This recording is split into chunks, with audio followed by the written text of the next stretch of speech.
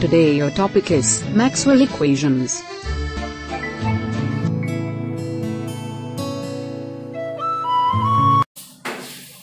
Hello everyone today we are discussing about new topic और new topic क्या है हमारा?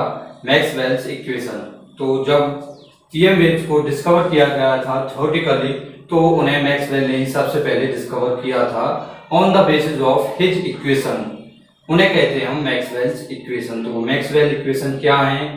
आज हम उन्हें ही डिस्कस करेंगे। तो स्टार्ट करते हैं। तो Maxwell equation statement in 1865 Maxwell discover the EM waves theoretically on the basis of his equations which are called Maxwell equation तो ईएम वेव्स को थ्योरेटिकली डिस्कवर किया था जिन इक्वेशन पे, उन इक्वेशंस को कह रहे हैं मैक्सवेल्स इक्वेशन तो there are four Maxwell equation. तो Maxwell की क्या है? चार equations हैं, which are तो जो हम नीचे डिस्कस करेंगे। तो पहली इक्वेशन डिस्कवर करते हैं।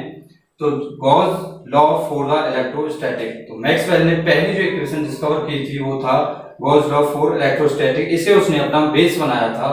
तो गॉस लॉ क्या कहता है? E dot D S equal to Q upon में एफ़ साइन नॉट यानी किसी भी सरफेस पर कितनी इलेक्ट्रिक लाइंस हैं, वो किसके इक्वल होंगी हमारी क्यू उस पे टोटल चार्ज कितना है डिवाइड करेंगे उसे एफ़ साइन नॉट से। तो ये हमारी फ़र्स्ट इक्वेशन सेकंड इक्वेशन हम डिस्कस करते हैं गॉस लॉ फॉर मैग्नेटिज्म तो हमने ये थर्ड चैप्टर में पढ़ते हैं, जब मैग्नेटिज्म में तो ये आता है गॉस लॉ तो क्या होता है? B dot D S is equal to zero यानी कोई भी सरफेस है, उससे लाइंस निकल के जाएँगी मैग्नेटिक लाइंस तो क्या होगा, उनका टोटल क्या होगा, वो ज़ीरो के इक्वल होंगे। तो याद रखना आपको, जब भी हम निकालेंगे ई डॉट डी एस तो इलेक्ट्रिक लाइन सरफेस से किसके इक्वल होंगी? क्यू अपॉन एप्साइन नॉट के।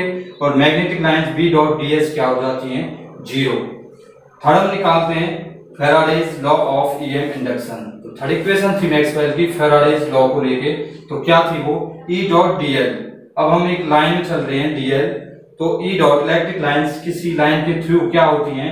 Minus D phi B upon D T तो ये क्या हमारा? Rate of change of magnetic flux तो मैग्नेटिक फ्लक्स को जब हम टाइम के साथ वेरी करते हैं तो हमारी क्या बनती है? इलेक्ट्रिक लाइंस जनरेट होती हैं। तो फोर्थ इक्वेशन को डिस्कस करते हैं Maxwell's modified Ampere circuital law तो फोर्थ इक्वेशन क्या होगी हमारी?